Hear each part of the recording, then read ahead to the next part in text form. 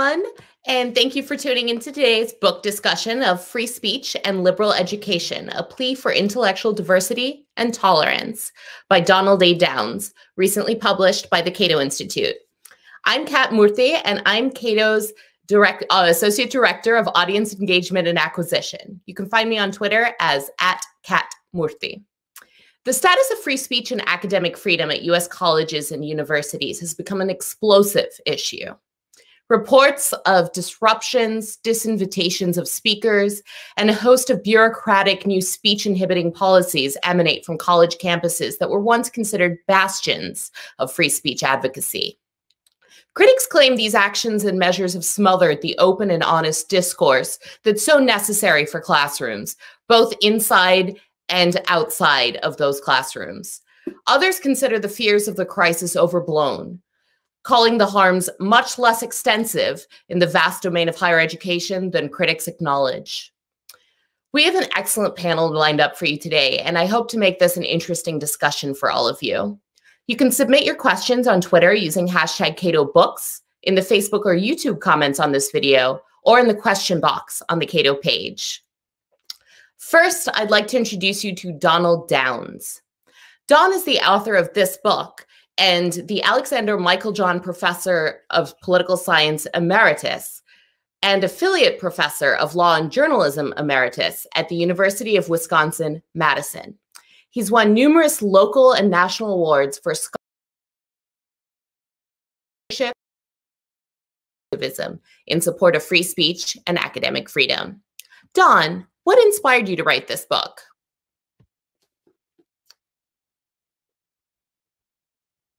First of all, they're both proximate causes and longer range uh, causes. Uh, the proximate were some of the things you just alluded to, Kat. Uh, speech disruptions, for example, mm-hmm. at Middlebury in 2017, uh, which I call in the book a. Uh, and then there were broader uh, aspects, new bureaucratic policies that we'll be talking about today. I won't get into them right now because I'll be talking about them later but um, they had a big impact on my my thinking. And these started happening, started you know coming about uh, sometime around two, 2012 and a little bit later than that. So they were starting to have an effect. And then you know even more broadly was just my concern about what this was doing to higher education. I'll be talking a lot about that uh, later, but uh, I saw this as really a betrayal of what a university was supposed to be and of why I got into the university uh, in the first place. Uh, I came to Wisconsin from Notre Dame back in 1985 because of Wisconsin's reputation for being a place where there's a really vital and vibrant clash of ideas. And uh, after a few years there, I started seeing the impact of these new policies uh, on campus, and I felt betrayed.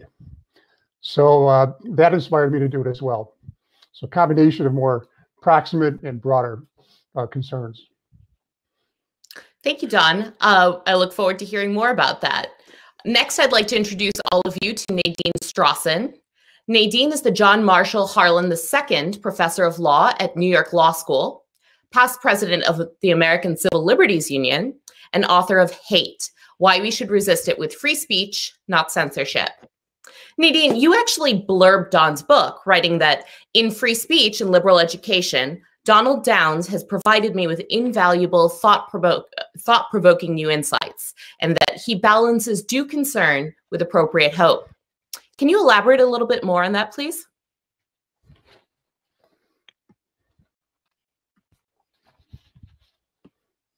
Nadine, I'm sorry, you're actually muted.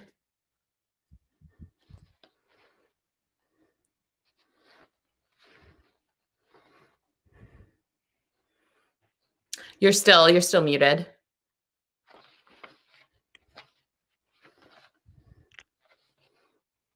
Okay, um, Nadine, I am going to skip ahead and introduce uh, our next guest, and we'll come back to you in one second. Um, I would also like to introduce Katie Harbath. Katie is the global lead for politics and government engagement at Facebook, where she focuses on political outreach And she's also an alumni of the University of Wisconsin, where she served on the editorial board of the campus newspaper, the Badger Herald. You can find Katie on face, uh, I'm sorry, on Twitter as at Katie Harbath. Katie, you had a very personal experience with campus free speech suppression when you were writing for the Badger mm-hmm. Herald. Can you tell us a little bit more about that, please? Yeah, um, thank you for having me, Kat. Um, actually, one of the first ways that Professor Downs and I met was um, back in early 2000s. Um, the Badger Herald was a part of um, a discussion around we had allowed um, an ad to run by David Horowitz around why reparations for slavery were wrong and racist too. And it sparked a big discussion across the country because there were other universities who chose not to run that ad. Um, and we at the Herald did choose to do so on free speech grounds. And it was one of the first um, first experiences I had of dealing with free expression on campus and um, dealing with protests and others around um, what should or should not be allowed in terms of speech on on campus and it was really a starting point for me of uh, really learning and being more a part of um, and thinking about what how do you think about speech and what is or is not allowed and frankly it's things that we continue to even discuss today when you think about speech online and in the elections. Great, thank you. Uh, definitely looking forward to continuing that discussion. Um, next, I would like to introduce all of you to Robby Soave. Robby's a senior editor at hmm. Reason Magazine and author of Panic Attack Young Radicals in the Age of Trump a book about trampling of free speech and due process in the name of social justice. You can find him on Twitter as at Robby hmm. Soave. Robby, you argue hmm. that since President Trump was elected, the silencing on view, uh, silencing of views on college campuses has worsened. Can you elaborate a bit on that, please?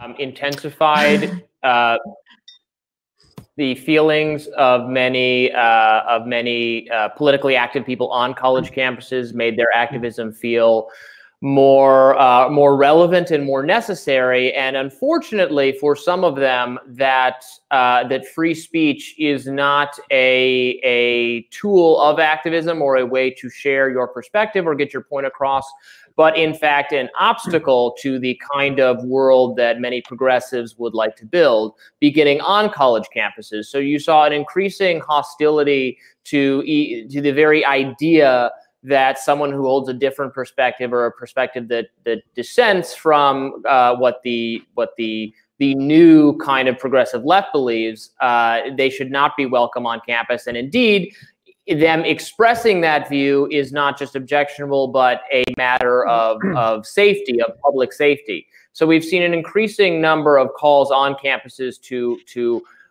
to thwart or to stop uh, speech, to stop expression, uh, because it's a matter of safety. And by safety, they mean uh, emotional health and well-being, which is a component of mm-hmm. physical safety. I'm also troubled to see this kind of trend uh, uh, leaking out of the I think it emanates to some degree from the college campuses, uh, but is is infecting the broader culture. Um, is is uh, it's happening on social media. It's happening in elite media institutions where you have employees saying that it would be wrong. Uh, it would be a matter of safety. Uh, un- it would undermine safety to to pub- perhaps publish an opinion at a place like the New York Times or the Atlantic uh, that mm-hmm. that that the staff disagrees with. So that's uh, and that we, we saw that starting in the campus, Middlebury, Evergreen, other places, and now it's it's it's it's much broader in scope. Thank you, Robby. Um, I'm I'm seeing here uh, that it looks like Nadine's mic is working now. So Nadine, I'd love to come back to you um, to talk a little bit about uh, your reaction to Don's book, as well as your own book, and um, some of the insights that you drew out of that. First of all, can you hear me now? Yes. Can you hear me now? Oh, fabulous. It's Thank not you. an online event if we don't have that delay. Restored.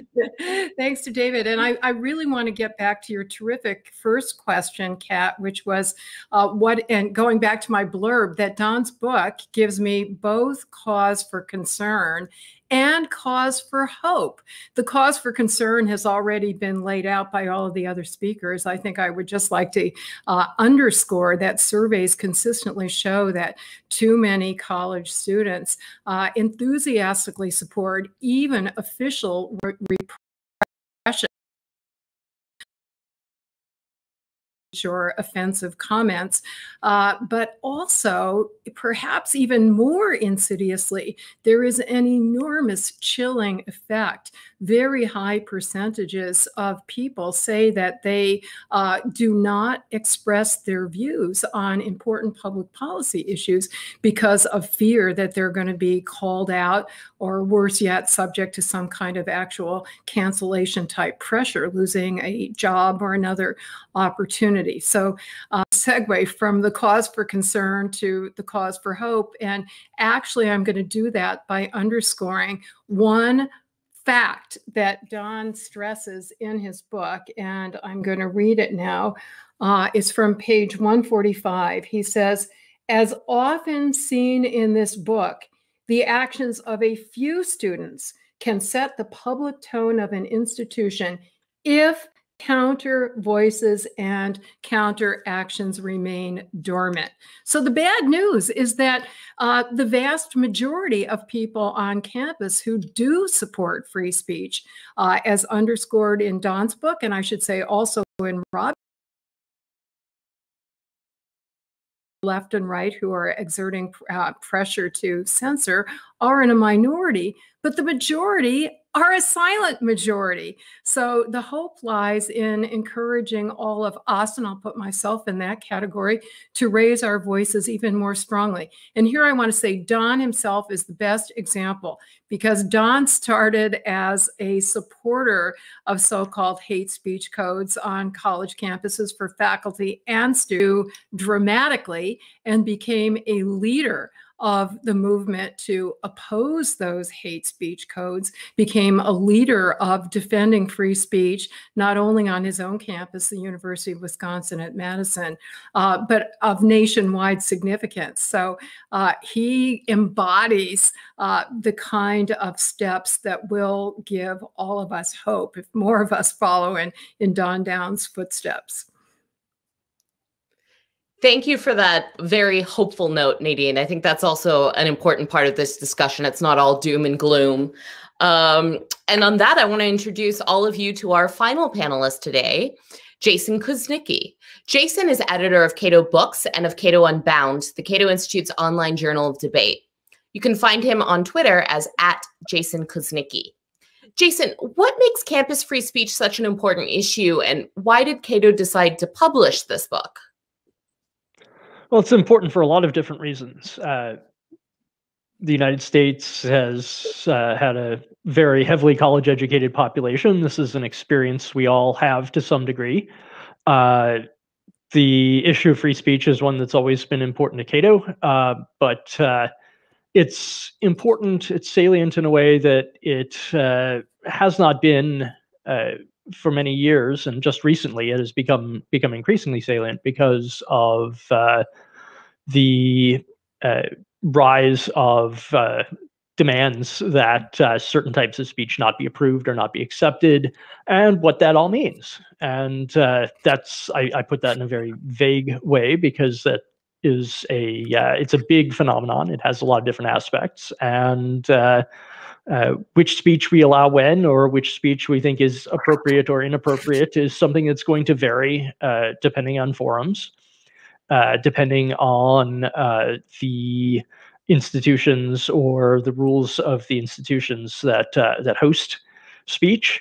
And because we all have the common experience of the university setting, or because so many of us have the common experience of the university setting, those rules are often used as as benchmarks or as as at least normative standards for our conduct in the rest of society. So, uh, if we want to preserve free speech in the larger society, which uh, is one that's heavily college educated, we ought to give uh, a good deal of thought to the question of free speech on campuses, even when uh, we're not hearing all kinds of alarming stories out of the campuses themselves. And it happens that in recent years we are hearing those sorts of stories. So it's a timely book. It's uh, it's an important book. Uh, it is not a doom and gloom book, which uh, uh I think is I think is fair and correct. Uh, there are there are uh, both some you know, alarming anecdotes, but also some reason for hope. So so that's why we publish it. I would say. Thank you, Jason. And I think you you bring up a really important point here, right? Words have meaning, but not everyone tends, uh, not everyone has the same understanding of what that meaning might be. And I think that that especially comes to a head when we have these sort of cultural clashes over issues like free speech. So to begin this discussion, I, I'd like to hear from each of you um, what exactly free speech is, what what that term means, and why it's important. Um, Don, can we start with you as the author of the book? Sure. Um, there's really there's kind of a legalistic interpretation as well as a more normative one. In the book, I I do both. Uh, the Supreme Court has defined free speech for First Amendment purposes as the intent to convey a message that would be understood as such. Now, that comes out of the Texas versus Johnson flag burning case back in 1989. And uh, so I think of the, the movie My Cousin Vinny, and remember, the, at the end of the movie, Lisa and uh, Vinny are talking about whether they're going to have a spontaneous marriage or a romantic, or excuse me, a wedding, or a romantic kind of wedding, a bigger wedding. And uh, he says, I want to spontaneous. And Lisa says, a burp is spontaneous. It's not romantic. and same by the same token, if you just burp, uh, as an example, that in itself is really not First Amendment speech. But if you burp in order to make some sort of statement like you disagree with what someone just said and you disagree rather inarticulately, then that would qualify uh, for First Amendment speech because you're conveying a message with that burp. And uh, sort of symbols are free speech, not just simply language. Uh, so that's a Supreme Court kind of a approach to it. Context also matters. Uh, the amount of speech you would have, or the kind of speech you would have in a classroom, as we'll talk about later, differs from speech outside in a public forum because the classroom has a definitive purpose. Uh, so time, place, and manner and context uh, can make a difference. I also make a distinction in the book, and it's one I really like, but I didn't really develop enough, partly for reasons of space. And maybe it's worth another shorter book, or if Cato lets me write an epilogue. Uh, I distinguish speech from expression. And usually under First Amendment law, expression is the term that's used. I like speech better. It has a more qualitative, uh, kind of more scholarly uh, connotation to it. And so I use the term uh, speech more than expression, though I'm quite comfortable also with, uh, with expression. Uh, to me, speech represents both uh, the right and as I portray in the book, and this sort of speaks to Nadine's point about the imperative of constructive you know, resistance and reform, a responsibility to speak your mind uh, with honesty and with clarity. I, I quote uh, Charles Krauthammer in the book, who said that uh, you betray your whole life if you don't say it honestly, if you don't say what you mean honestly and bluntly. And so uh, this is very important. Uh, in the book, I talk about the importance of intellectual honesty as part of speech. And I say that if you don't really speak your mind clearly and bluntly, especially in an academic context, right, where we're supposed to do that, uh, that in a sense, if not legally, at least morally, is a kind of intellectual fraud because you're presenting something that you really don't believe. And so the honesty issue is very important. And uh, I quote uh, from the famous uh, flag salute case in schools, uh, the Barnette case, 1943. I read you what uh, Justice Jackson, one of my favorite uh, Supreme Court justices, says about the importance of free speech. So this sort of speaks not to just what is speech, but why it matters. which we'll also talk more about later. Those who begin coercive elimination of dissent soon find themselves exterminating dissenters. Compulsory unification of opinion achieves only the unanimity of the graveyard. I love that quote. If there's any fixed star in a constitutional constellation, it is that no official, high or petty, can prescribe what shall be orthodox in politics, nationalism, religion, or matters of opinion, or force students, citizens, to confess by word or act their faith therein. If there are any circumstances which permit of an exception, they do not know, they do not now uh, occur to us. And finally, in chapter seven, which is really the, the, kind of penultimate chapter of the book, though it's only one of eight, uh, I talk about three primary justifications for free speech, especially in an academic context. Uh, one is what I call deontological, that it's a, it's a good thing in itself, regardless of any kind of utilitarian consequences. Uh, the second is uh, utilitarian and consequentialist. It's an indispensable means to truth and other kinds of social goods. And finally, ethical conscience. And the book really says a lot about that. How the rigors, being able to live up to the rigors of constitutional discourse in a democratic republic requires certain character attributes and can contribute to them, which makes citizenship uh, more solid. And that's another big emphasis in the book. So I talk about both what it means technically and also why it matters.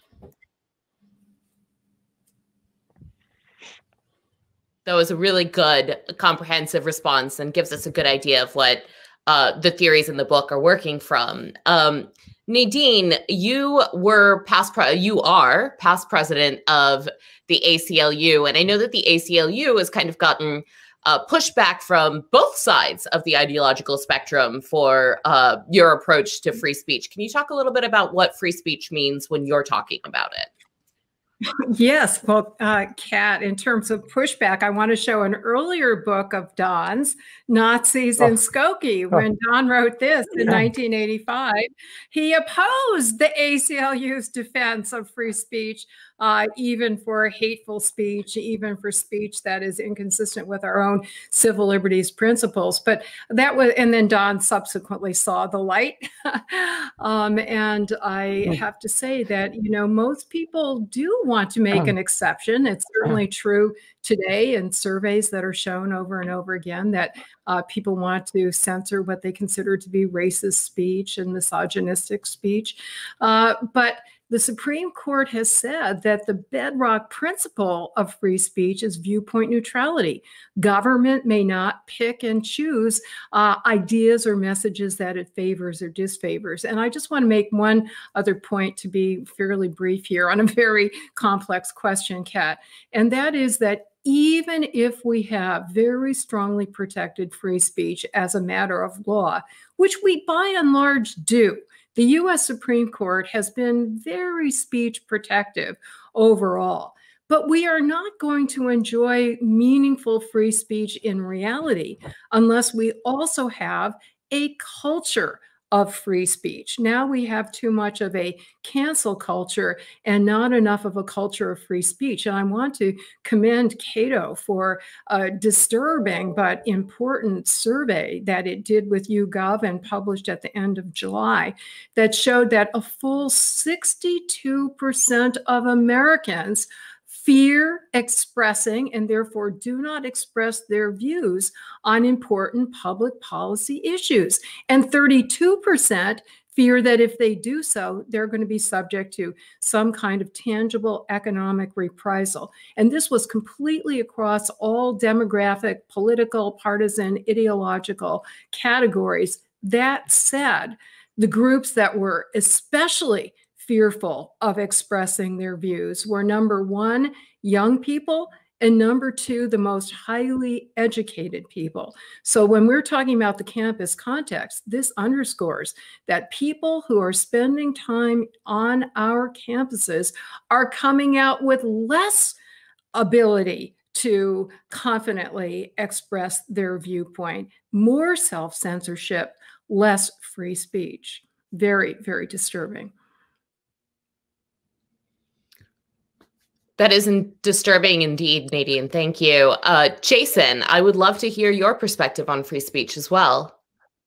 Yes, uh, free speech is an idea, and ideas have histories. And uh, my own academic background in in the career that I had before Cato was uh, as a historian of ideas. So uh, when you look at the ancient world, there's very little in the way of what we would call free speech. Uh, the Roman senators enjoyed an absolute right to free speech, but there were few of them. Uh, the idea of free speech began with lots of little special privileges, kind of like that one, where a few people, because of their status or because of some special job that they have, get a right to free speech. Uh, one of them that arises in medieval times is the idea of academic freedom, which is one of the ideas that actually predates the US right to freedom of speech, but uh, is neither identical with it uh, nor simply a subset of it.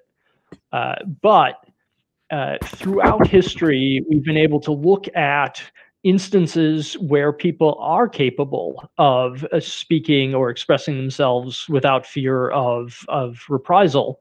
And we've recognized that when people can do that, there are definite advantages both for them and for those around them. And gradually, over the course of time, uh, we have discovered what we uh, now know as as the uh, the right of free speech or free expression. Uh, this means several things for where we are today. First, uh, we haven't talked about academic freedom in particular as as a strain within free speech or as a a particular thing that you can do with your free speech. We we absolutely should do that. And second, uh, we have an obligation to look a bit at how free speech arose out of particular privileges and then the conceptual generalization of them to the whole society. Uh, why do we need free speech? Well, we need it for lots of different reasons. It's not just because someone is an academic doing scientific research or doing uh, economic research, say. It's not just because someone has a special job as part of the government and they get to do it it's useful in a wide variety of different areas. And that's something that we've slowly, gradually discovered throughout history. And it would be uh, a terrible shame if, owing to certain technological changes, for example, we came to think that this right was not worth the cost or was too uh, uh, risky to allow to people. Thanks, Jason. Uh, and I'm glad you started talking about technology. You set up the historical example for us. Well, Katie, you you work at Facebook, and that's sort of been at the forefront of the free, free speech debate, um, or at least the conversation about free speech. I think uh, in the past few years. Um, what what is your perspective on free speech, uh, both what it is and what its importance is? Well, as a student of Professor Downs, I just have to take his definition because he's the one that taught it to me. So um, I'll have to defer personally to Professor Downs on that. But um, in all seriousness, I think, you know, what we've really been seeing um, in the online space is at Facebook, we want to give people the right and the ability to express what they believe and there's a lot of questions now around, though, what speech should be allowed to stay up versus be taken down? What is the difference between freedom of speech versus freedom of reach? And the amount and how many people might see content that somebody puts up um, on the platform? How do you think about countering mis and disinformation? Um, we've been experimenting a lot with labels to give people right now accurate information around the elections. When people say things, if something is uh, marked as false by a fact checker, we don't take it down, but we do provide alternative information for people to see, not alternative, but additional information to see the fact check and to know that something has been fact checked false. And we reduce the distribution, but we don't fully take it off the platform. And so I think an important discussion in all of this is not only the question of the people's right to to say something and have freedom of speech or freedom of expression.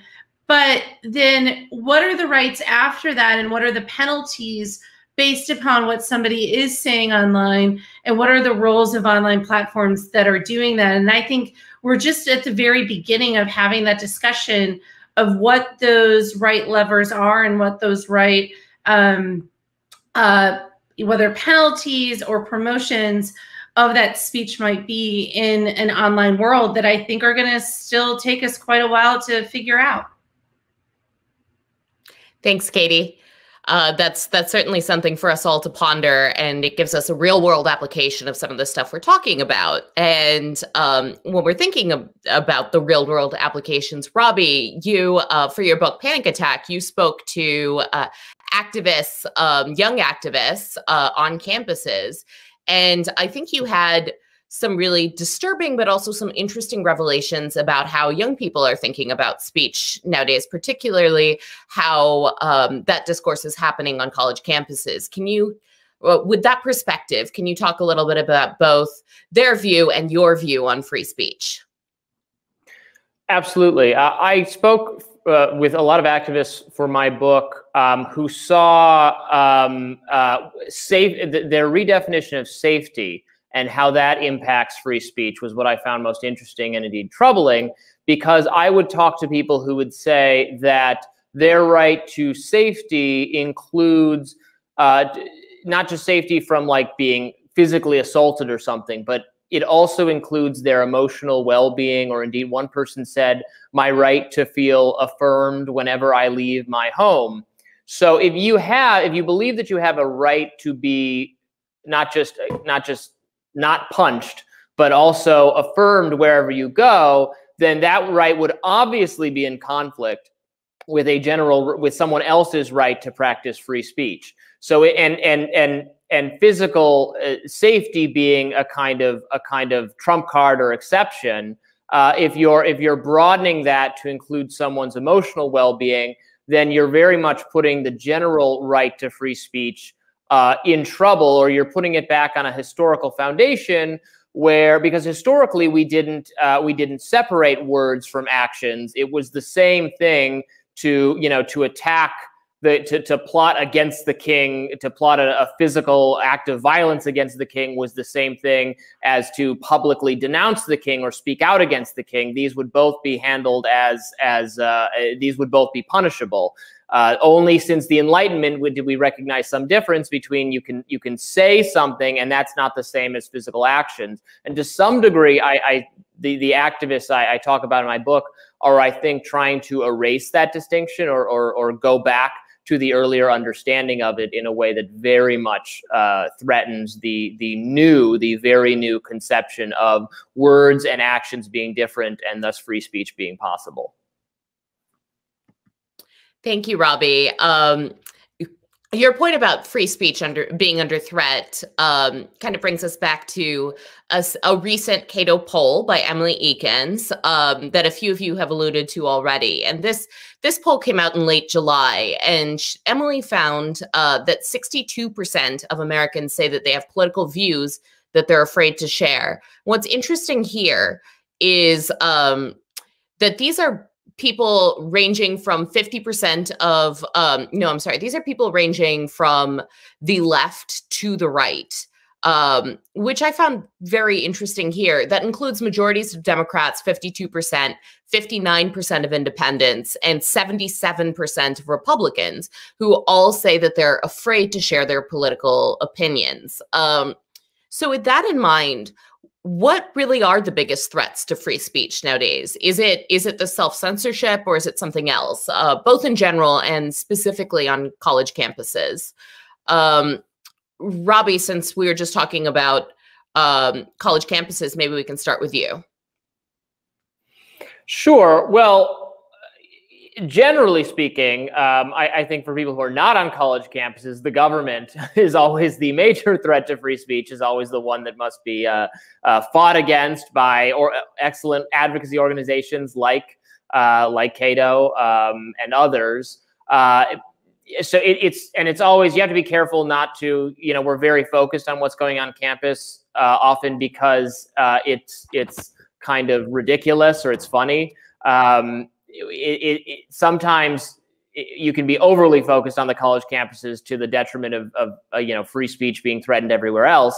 But as long as we are talking about uh, college campuses, I think a small number of very militantly anti-speech students have found a way to weaponize campus policies uh, such that it's very difficult, especially at elite colleges, elite institutions, to have um, conversations that are uncomfortable for them. And they weaponize this not not just against other students and visiting speakers but their own professors. I have spoken with so many uh, very very left leaning professors who are more in the kind of aclu mode who say that they are terrified of their own students and they think their students are going to start investigations against them if they say or do they say the wrong thing in class or someone is bothered in class even if it's a perfectly reasonable discussion.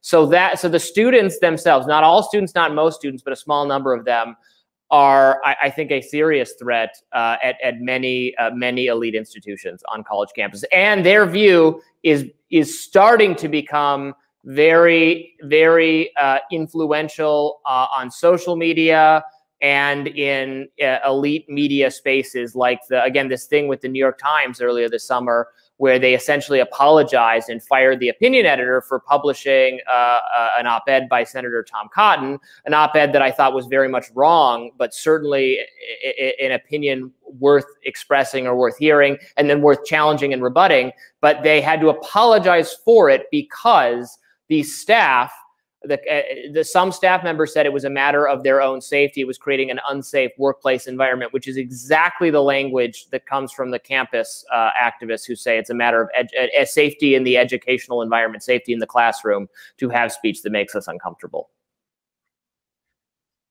Thanks, Robby. Don, this is this is what Robby's talking about is exactly what motivated you to write your book. It was it was this feeling, I believe, that um that these that the rise of these views on campuses would be moving out so uh, moving out to the wider world. So what do you see as the greatest threats to free speech? Well they're building on would what it Robby be had that to say. I'm sorry they're building on what robby had to say. Uh, you have a conjunction of long-standing sort of universal grounds for censorship and uh, fear of expressing your ideas in in certain cultural situations uh, censorship is based on fear. People are afraid to go against the grain. You know, the silence, the spiral of silence, silence kind of idea. So that's there too, as well as sort of moral, the difference between moral conviction. I talk about this in the book, and what I would call moralism. Uh, we all need to have moral convictions. Morality is what makes a good life. But when morality moves into moralism, it starts driving or driving its force in a psychodynamic sense from more aggressive instincts, and it can become repressive. It can lead to what uh, Justice Holmes, in a famous free speech dissent, says uh, believing that ideas with which you disagree are fraught with evil. And so those are kind of universal tendencies. And then when you combine that now with a culture that is growing, you know, becoming more intolerant of certain kinds of viewpoints, you get a really combustible uh, kind of mix. And uh, now, as we mentioned, you have all these new bureaucratic policies, especially your bias reporting policies. I know when one of the universities in Portland encouraged uh, students to report to the police when they encountered uncomfortable ideas. And this sort of speaks to the thing that Robby was talking about uh, the conflation, and I have a whole chapter on this uh, the conflation of speech and action uh, so that suddenly words become fraught not only with evil, but with danger to the self, a kind of fragility uh, position. And uh, we see a lot more of that, uh, both in the vernacular on campus, but also now it has spread to the, the wider society. And uh, that's a real problem. I trace in the book how this really began uh, coming, the Skokie case was really a turning point in terms of this where the Nazi speech was seen as an assault, not just speech in the public forum. In that case, for understandable reasons. But if you expand beyond the Skokie case to, uh, I don't want this op ed by Tom Cotton in my paper because it endangers me. And that was kind of existential language used by those who didn't want that op-ed in that paper. So the conflation of speech and action, which is similar to the conflation of, uh, object, the rise of subjectivity as the main defense for a claim of harm. This is harmful speech because I feel this way, and that should be sufficient, rather than having to appeal to some common standard of reason uh, ask, to persuade someone that this is definitely something harmful that a reasonable person would feel. We have a movement away from the reasonable person standard to a more subjective uh, kind of standard. So that's certainly, you know, a, a definite problem here. Uh, and uh, on campus, it's the bureaucratic side that really has to be examined carefully. Uh, disruptions are an important thing. You can move away. We went away from dis- a lot of disruptions that occurred in the 2016 2017 period.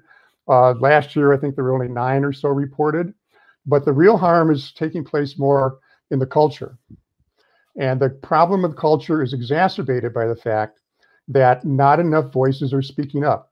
Uh, both Robby and Nadine have pointed out how on campus uh, it's really a minority of students that are pushing this. Uh, uh, students of various races, it's not just a minority race issue. A lot of white students are doing it.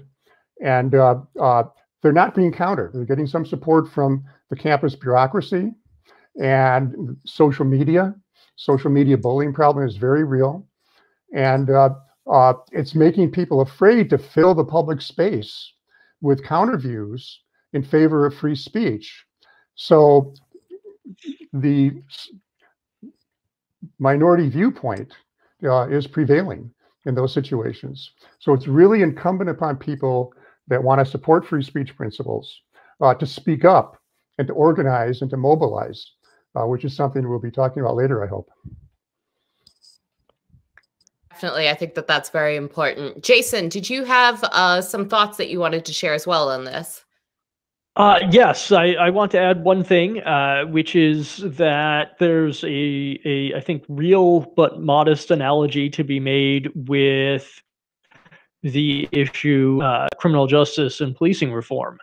Uh, in both of these issues, in campus free speech and in uh, in in policing reform, uh, we have seen a transformation in recent years that has been social media driven. Uh, people hear about these incidents through Facebook or Twitter. Before they hear about them in the national media. They hear about them in ways that are a lot more immediate with uh, with video taken on the scene when speakers are shouted down uh, or when police behave in ways that are are uh, difficult or impossible to justify to the public. And uh, being able to to have that video evidence is very very powerful. Uh, we can discuss the difficult problems of quantifying the crisis and we might find that there is or there isn't a crisis in terms of raw numbers uh, but what we have is, is at the very least a, a, crisis of salience. We are seeing it more. And uh, we need to uh, answer it if if only for that reason and also think about the role that uh, social media has in in uh, encouraging us to to think in certain ways or not. Uh, that can be difficult to do while you're in the middle of sort of the rush of politics uh, but uh, best is that uh, the end product of political discussions is not going to be the kind of universal comforting agreement that some people on the left seem to to uh, believe it should be. Uh, the end product of discussions about politics is voting, and in voting, we almost by definition are not going to come to uh, a universal consensus. We're going to disagree and those disagreements are just going to stand. Uh, that's uh, sometimes how it is in a democracy, and the idea that uh, we have to come to some kind of a consensus on on everything, I think, may be a part of the problem. And I do believe that that idea or that that uh, supposition is uh, is fostered by social media whether whether I mean I'm not saying it's intentional, but I think that uh, I think that the idea that here you are with all your friends and don't we all agree uh, can uh, translate into politics and into discussions of current events in in some uh, not necessarily helpful ways. Well, uh, since since you brought up the topic of social media, uh, I'm gonna I'm gonna let Katie respond to that if she would like to. Yeah, I think you know overall, it's it sort of goes back to sort of that overall discussion that I think we're having. I think social media we have seen has done a lot to help people who normally wouldn't have a platform or a megaphone or an ability to um, get their viewpoints out there or organized um, to be able to do so in a way that has had very positive um, uh, consequences on our society and has allowed more people to be a part of the, the civic debate. Um, but there's also parts of it that, um, in many different facets, um, that maybe are not as as great when thinking about uh, again the the the comment sections that you may have, the discussions that you may have, um, the the larger groups of people that can that can be commenting on your stuff. I've had experience that myself personally. Um, that can be difficult to know how to how to manage, and so.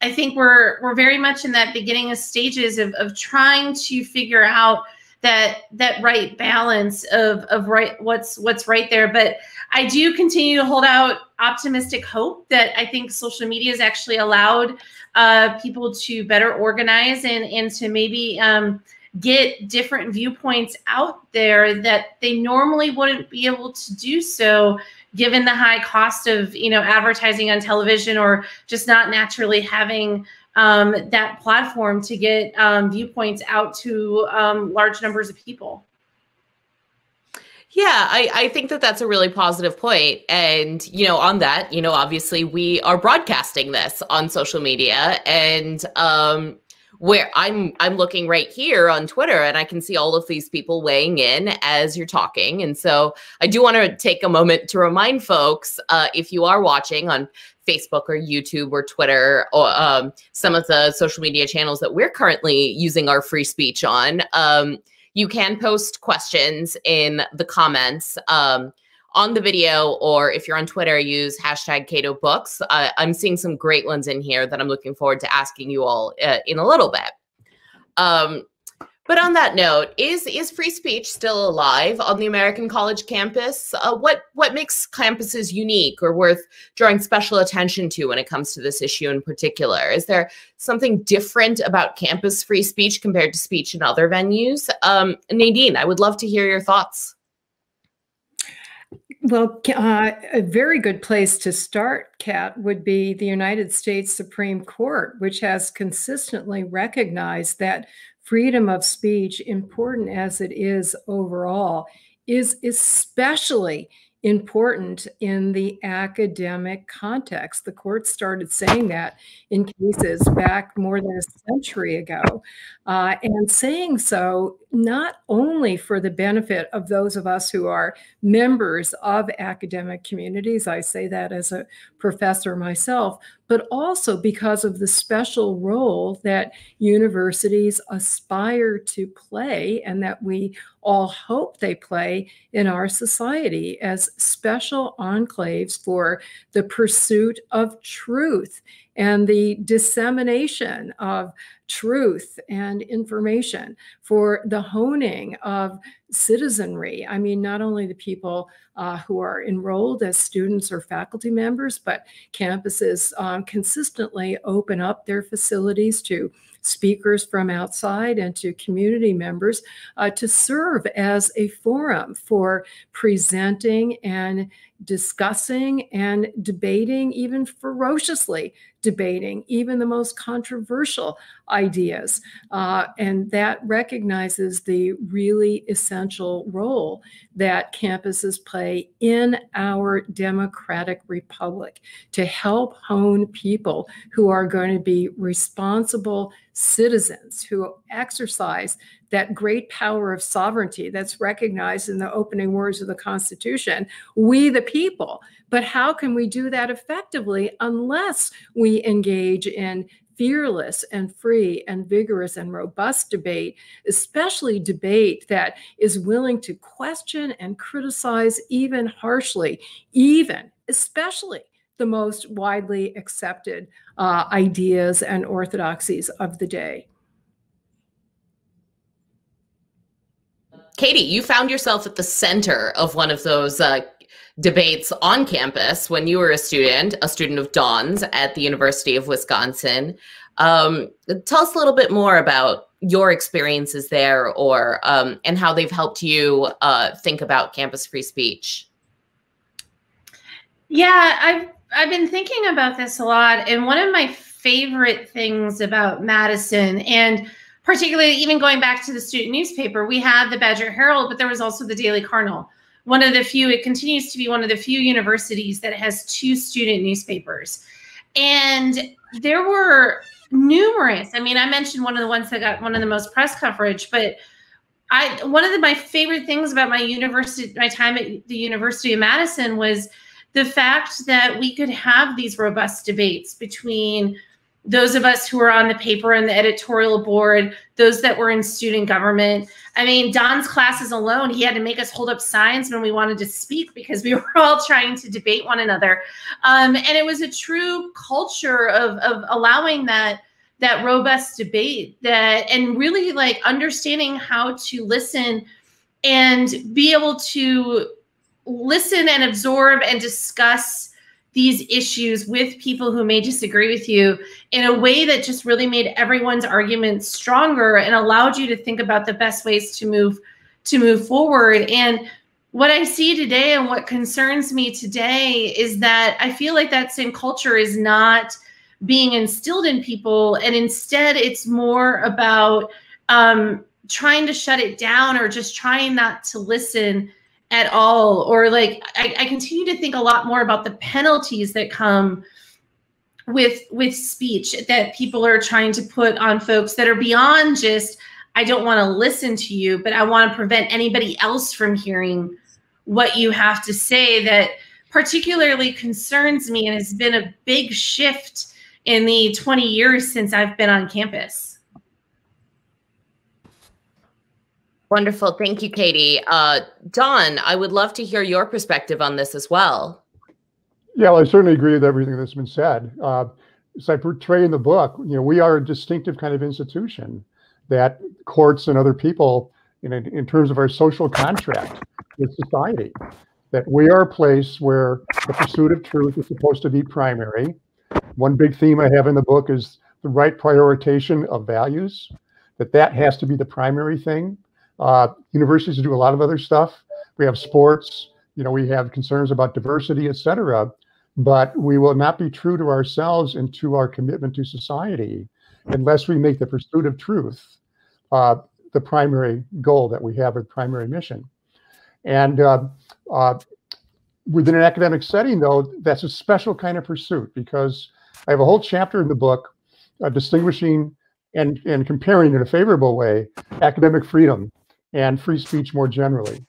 Uh, under free speech, you have a right to uh, say pretty much anything you want unless it meets one of the limited Supreme Court exceptions, which means that it's more or less directly related to some sort of uh, concrete harm.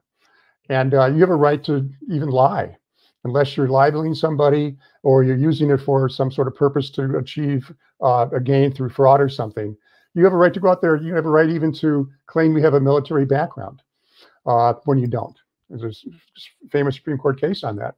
But when it comes to certain academic uh, situations in a university, professional situations like the classroom, uh, research, and uh, hiring people, more or less, you know, the academic professional contexts, uh, speech is more constrained. Uh, a, it has to be based on intellectual standards of inquiry. Uh, can't be based on fraud. It has to seek excellence. Uh, and uh, we, we don't allow quacks in the classroom. Uh, we don't allow people to teach astrology in the astronomy department, for example.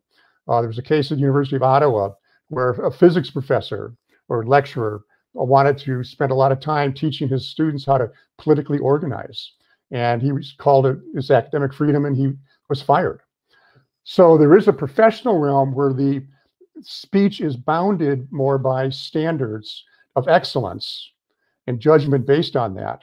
And then you have the other realms of campus, public forum, student organizations, uh, everyday encounters, where more generous, uh, less rigorous free speech standards apply. And you're allowed to really sort of let it all out.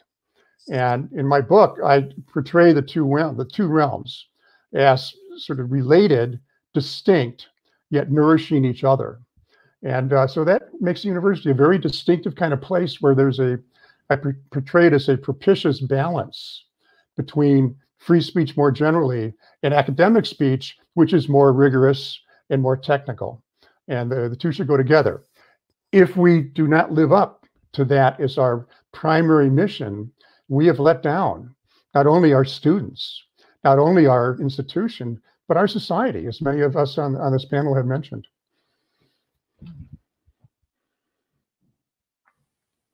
Um, and I think, you know, obviously we're doing this event virtually as um, many people around the world are right now uh, because of the elephant in the room, the COVID 19 pandemic. And because of the pandemic, many college campuses are doing mainly or only virtual learning this year. How has that impacted the situation with free speech? And um, how might future uh, shifts to a more virtual or non traditional campus option um, affect people's ability to freely engage with ideas. Nadine, I'd love to hear from you as a college professor.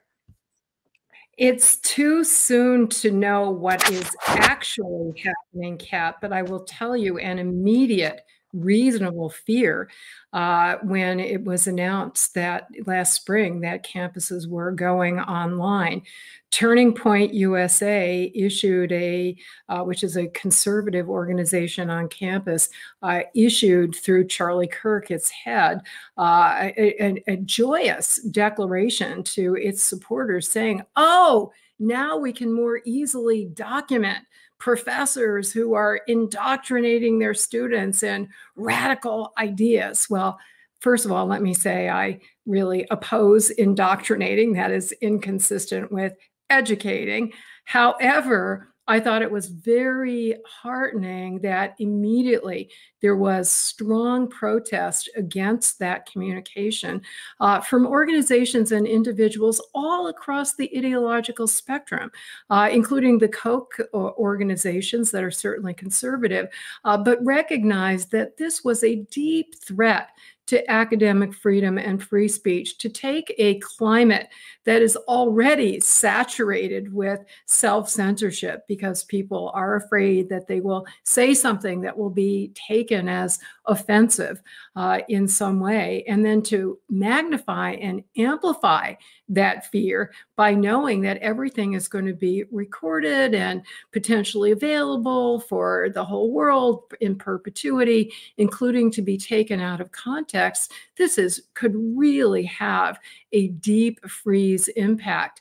Now, I don't want you know I'm making an ideological ideologically neutral point, I want to point out that more recently, in the wake of the George Floyd murder, uh, there have been calls by a couple of Black Lives Matter activist groups on campus, including Princeton, and more recently, I heard at the University of San Diego Law School, uh, calling for monitors to be monitoring class discussions uh, to make sure that people aren't saying something that they view as racist. So, whether this threat of su- surveillance and recording and calling out and punishing is coming from the left or the right, it is equally threatening to the kind of robust and uninhibited discourse that is so essential, especially in our classroom discussions, even if they are online.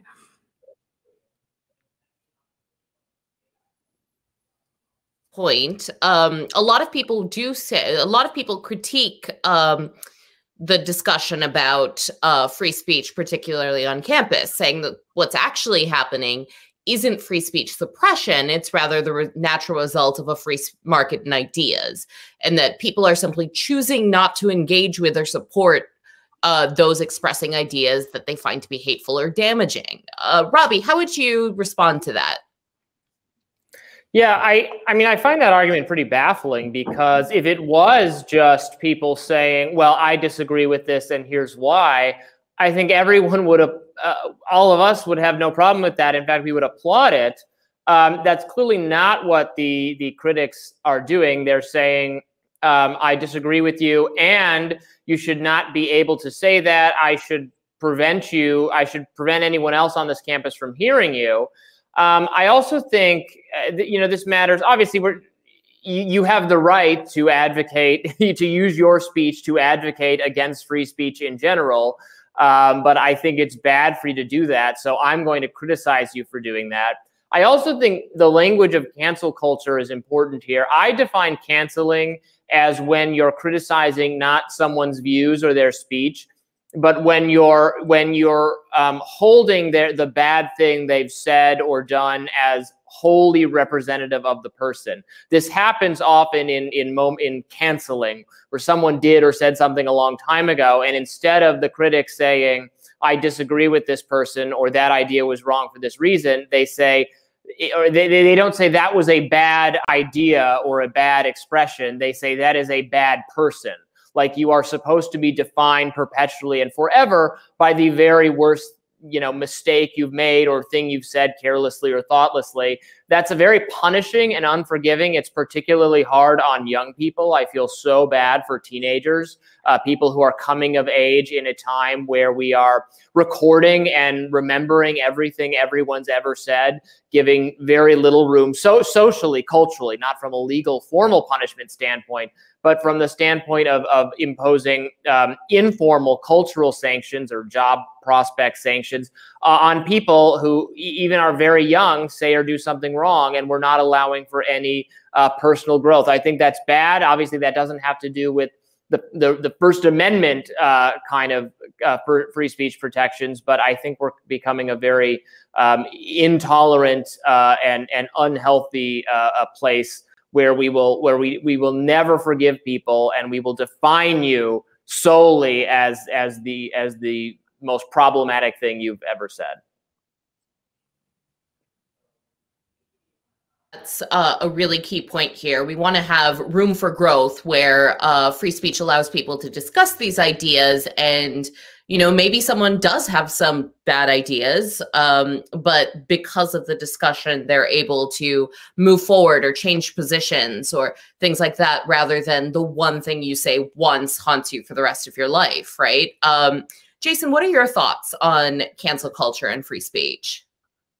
Yeah, yeah, we are uh, talking about this in a very abstract way, and we are uh, lumping together a lot of different things. I think in that in that term, and I think it's best to unpack it.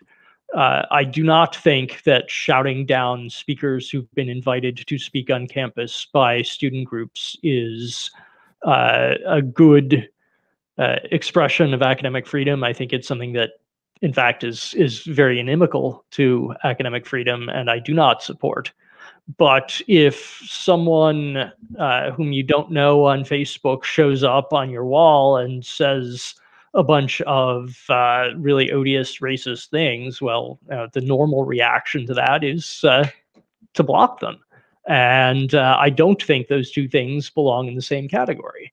Uh, I think that the second has very little to do with the first. And I think that if uh, if that's going to be a part of cancel culture as as uh, we are defining it, then it's not a very useful term.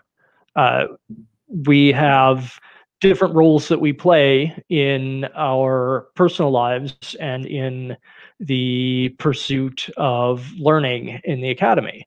Uh, the pursuit of learning in the academy demands that we uh, play a bit of a role, and the role is one where we agree to take ideas seriously, even if in our heart of hearts we believe them to be wrong. Uh, we take them seriously, we listen to them. Uh, is it likely that the typical blatant racist Facebook troll is going to show up on campus? It's not likely, but it has happened. Uh, do they deserve to be shouted down? No, they don't. They deserve to be ignored if you believe you have nothing to learn from them. Uh, they deserve to be answered in a thoughtful and critical way, which is absolutely a part of of uh, what goes on in the academy. And when you are not a part of the academy, when you are not acting in a, a capacity as a researcher or a student, uh, you are welcome and encouraged to unfriend or block or refuse to associate with in in regular life uh, people who uh, have views that you find odious. That's that's not a part of academic freedom. That's not uh, something that uh, affects or touches on or or uh, uh, destroys academic freedom in any significant way at all. Uh, you have the right to choose your friends. You have the right to choose the people you associate with. And uh, this might sound like it's all a bunch of uh, of complicated, conflicting directives, but uh, fortunately, libertarians have an answer for that. Uh, we believe that the best rule is the one in which the uh, individual has a right to speak, but property owners have the right to say, well, you're not allowed to speak on my property.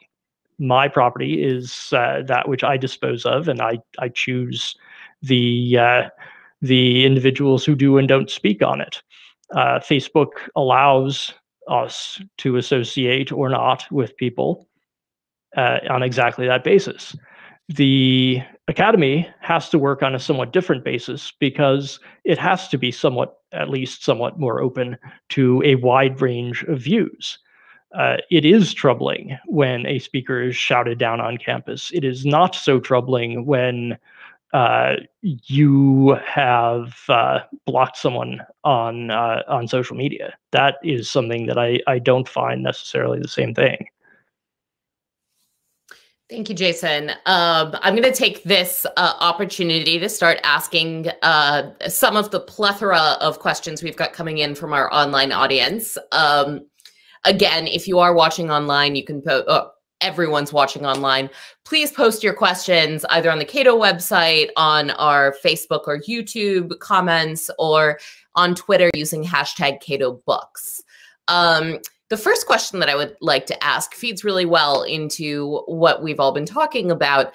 Anonymous asked via the Cato website Panelists are suspicious of voiced harm as real and more a foil to squelch unfavorable views. And yet, white supremacists who Trump embraced hold views that the very existence of another person or citizen is undesirable, not unlike the Nazis' aim to eradicate the Jews. How does a free speech oh, oh, sorry. How does a free society allow this? Um, Nadine, um, you've obviously dealt with exactly this issue while you were at the ACLU. I would love to hear your thoughts on it. Absolutely, Kat. And if I can inject a personal note, I am the daughter of a Holocaust survivor.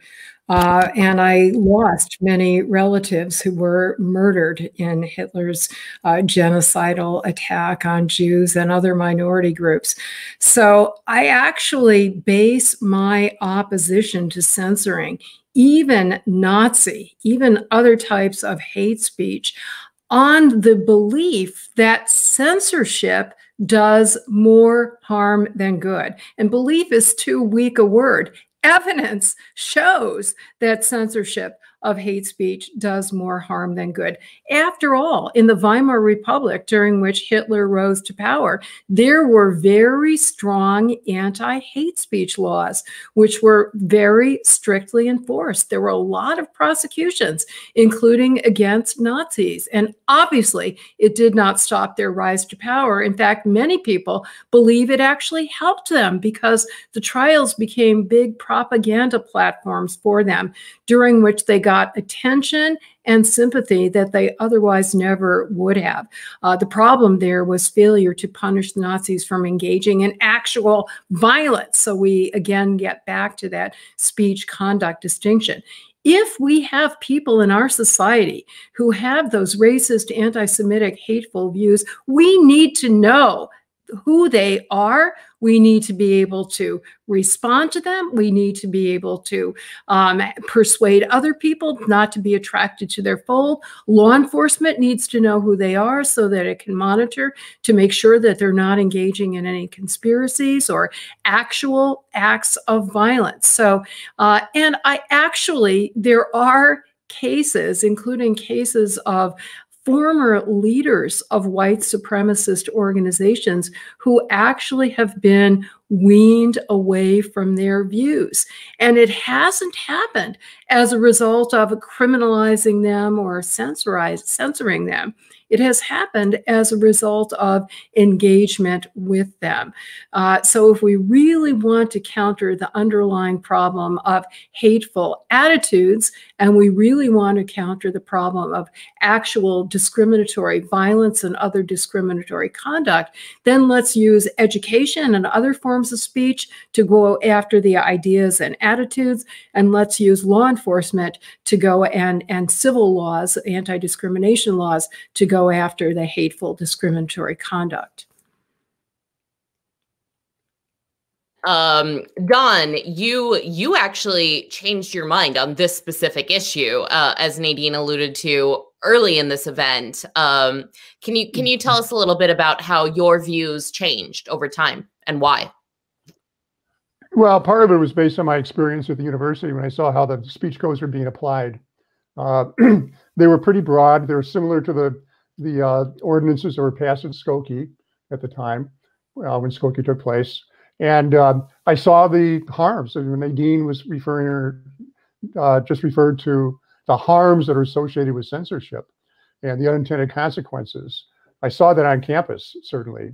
And it made me think about that kind of right of free speech more generally.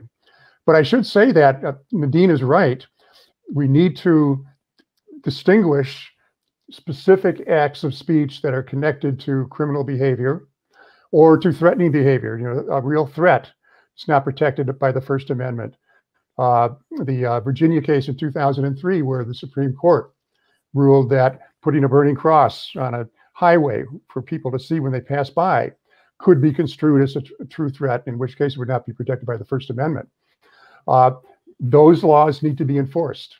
And uh, similarly, it's appropriate for uh, the government to keep a really close eye on dangerous groups. And, and sometimes it's even appropriate to uh, infiltrate them if necessary, so you have a sense of what's going on with them. The Fourth Amendment, the Fourth Amendment can allow that. So uh, we do allow those kinds of groups to speak because of our concerns about unintended consequences if we shut them up uh, spillover effect on other kinds of speech, et cetera. But we must a respond to them with vigilance. Uh, when I wrote the Skokie book, I interviewed uh, a leading survivor in Skokie, uh, and she told me that the lesson she learned from the Holocaust was to be your brother's keeper, and that is, you know, look out for people that are in danger, protect them, and uh, and in a similar way, we need to do that when someone makes a, a racist comment or a comment that is threatening someone, we need to speak up. All right. As Jason pointed out, that's not necessarily canceling, or maybe if it's canceling, it's a justifiable kind of canceling. But we don't want to suppress that speech in general uh, because of the implications uh, of doing so. But we also need to be vigilant in terms of upholding the criminal laws.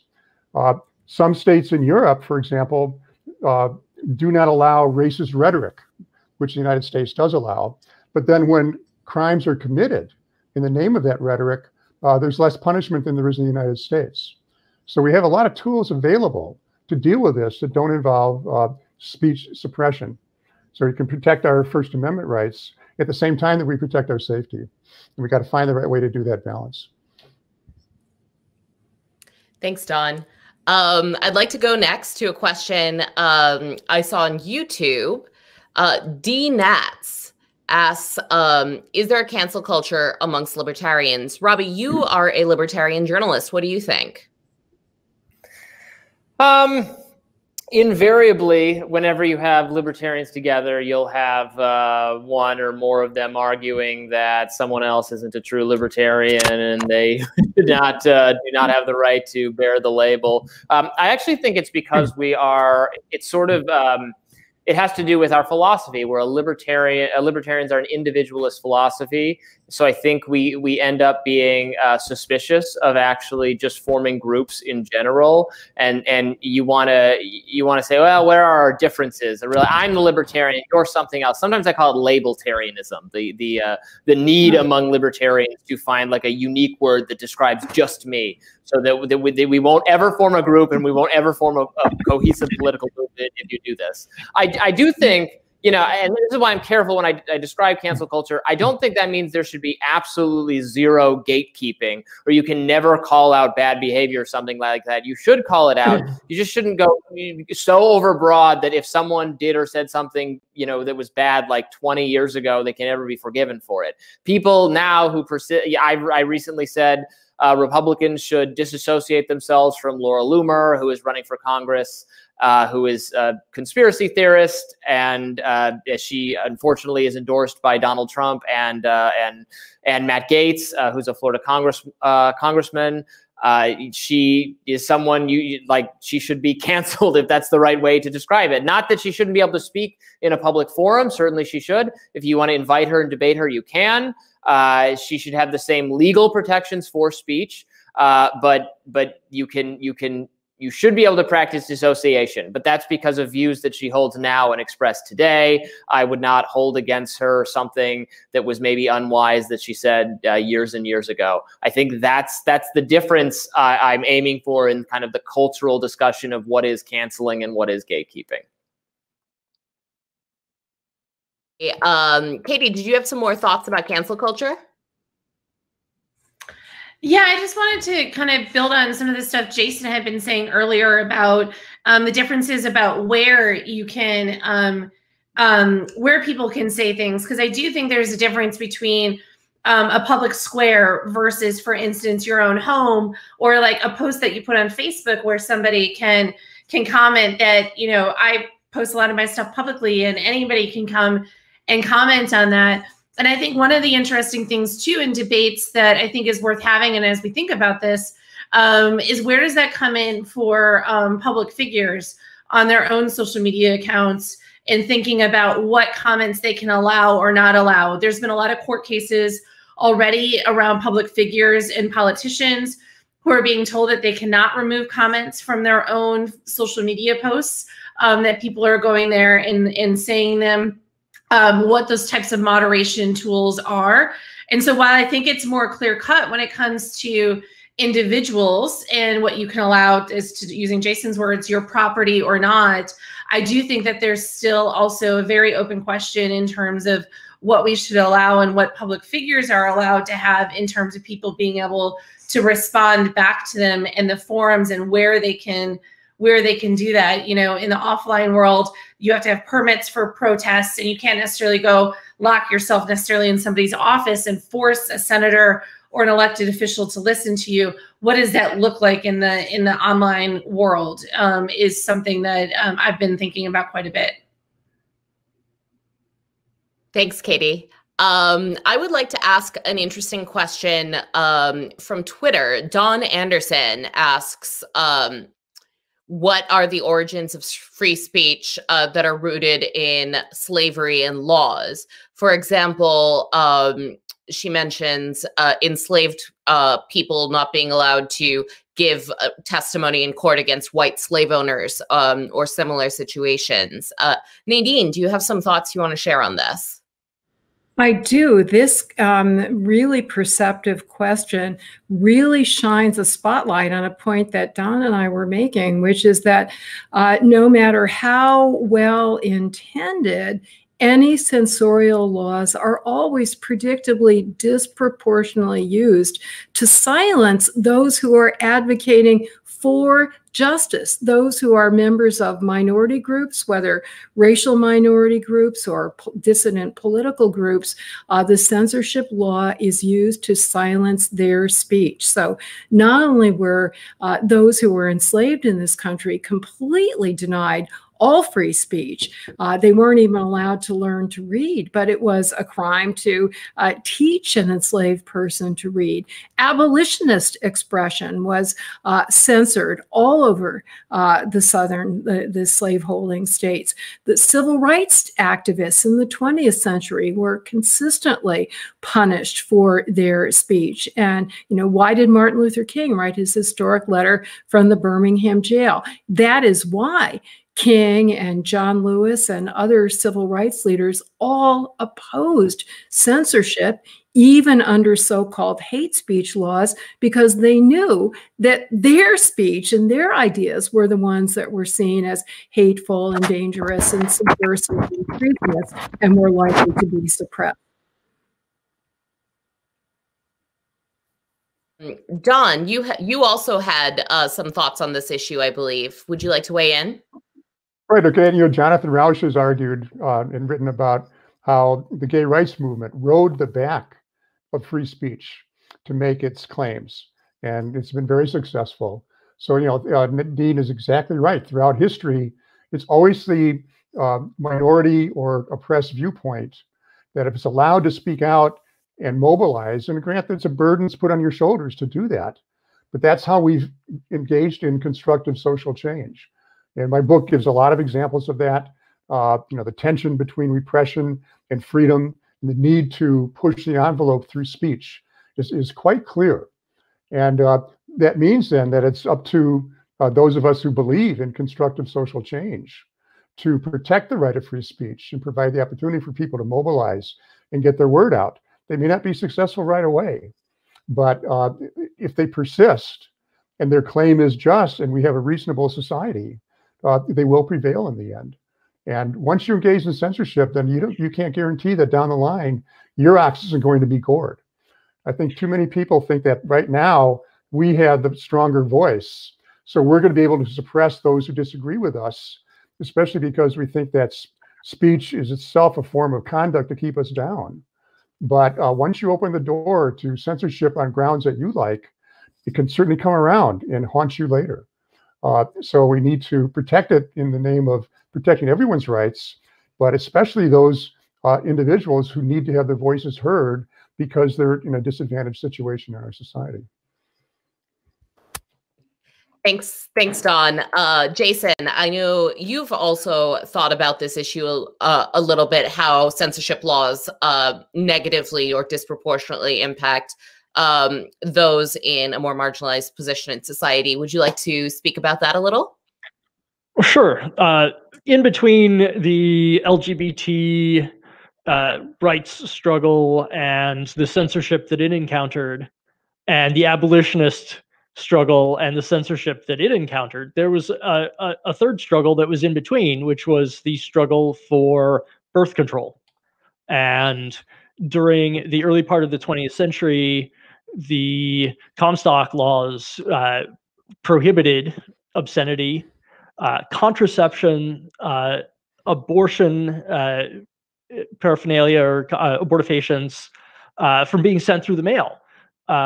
this was a direct affront to the individual free speech rights of everyone who wanted to use the U.S. mail and also uh, those who might have benefited from talking with people who had had uh, hmm. received such things in the mail. Uh, even just very factual, medically based uh, knowledge about the human body was sometimes implicated in in uh, these types of of prosecutions. Uh, so if you believe that it's only for the groups that you might tick off as marginalized today, think again. If you use birth control, this is something that you should also hold dear as as a right because the uh, widespread use and acceptance of birth control only came about through a public education campaign. And that only came about because these laws were fought and challenged.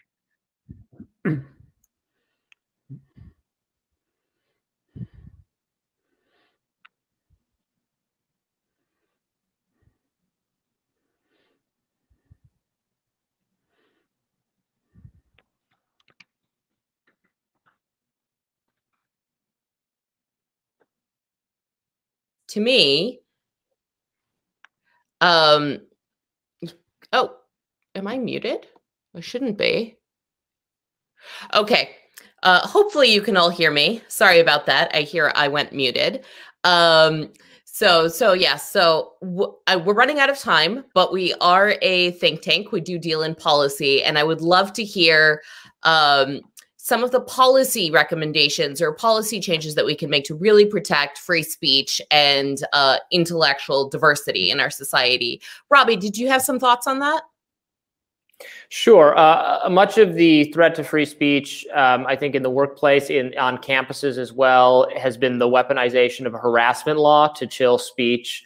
Uh, we certainly saw this on schools with Title IX, which is the law that uh, that prohibits uh, gender-based discrimination and harassment. But it, it was expanded uh, under the Obama education department to really uh, to really involve like all kinds of speech that would be perfectly appropriate for the classroom but it would be if, if anyone was uncomfortable with anything it would prompt an investigation under some very due process free procedures.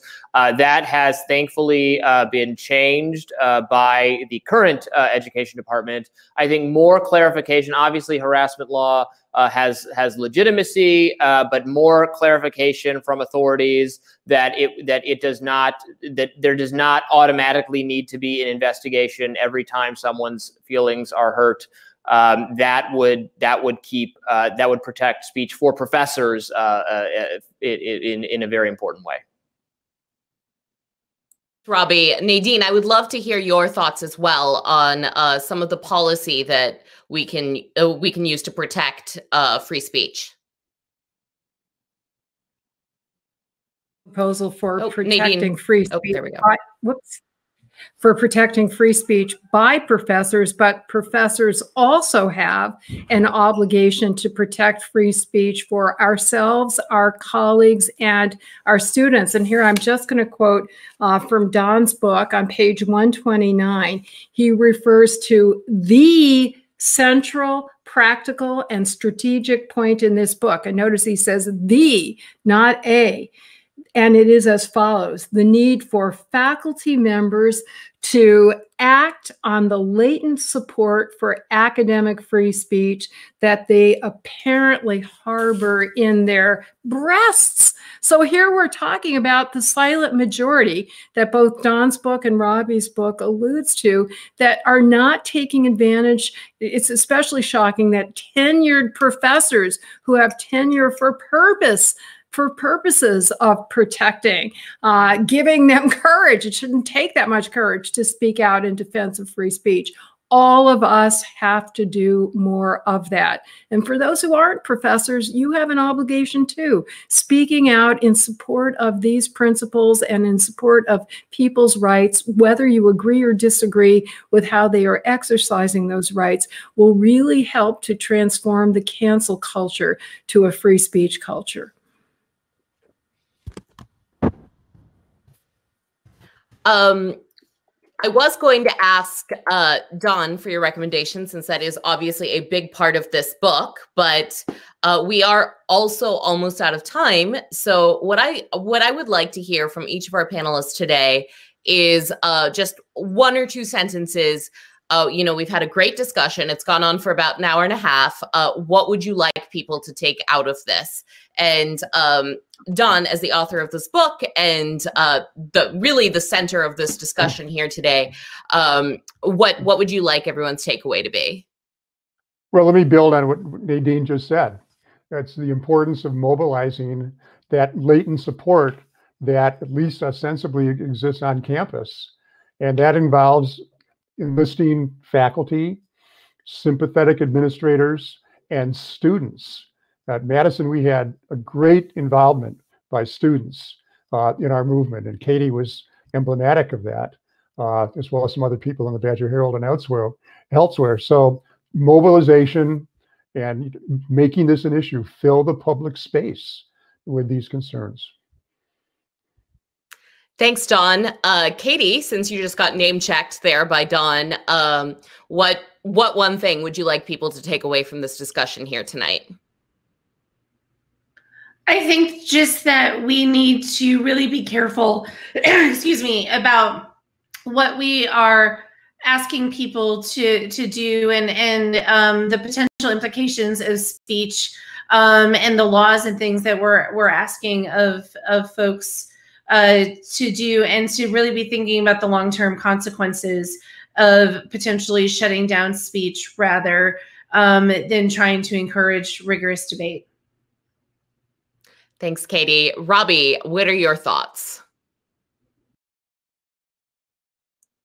Um, one of the, I guess, uh, things we didn't get into as much, but will be an important discussion for uh, for free speech uh, is going to be the domain of social media, which functions often like a public square, but are but is owned and administered by private companies.